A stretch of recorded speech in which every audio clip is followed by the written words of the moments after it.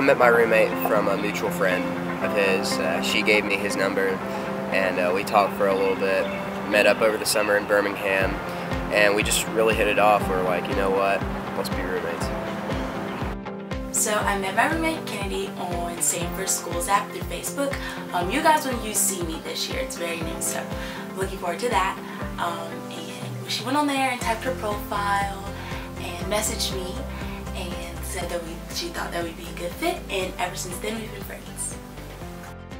Having a roommate is a positive experience because I put a lot into it, so I got a lot out of it. Uh, we always hang out together, um, occasionally go and grab a bite to eat.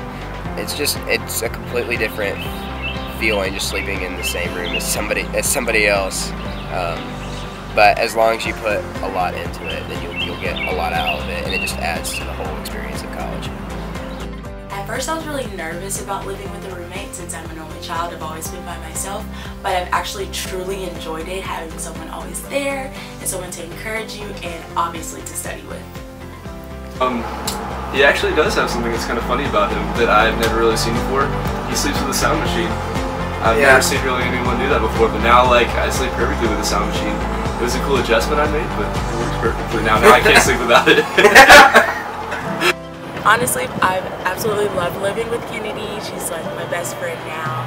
And I couldn't imagine going through this whole freshman first semester and second semester without her.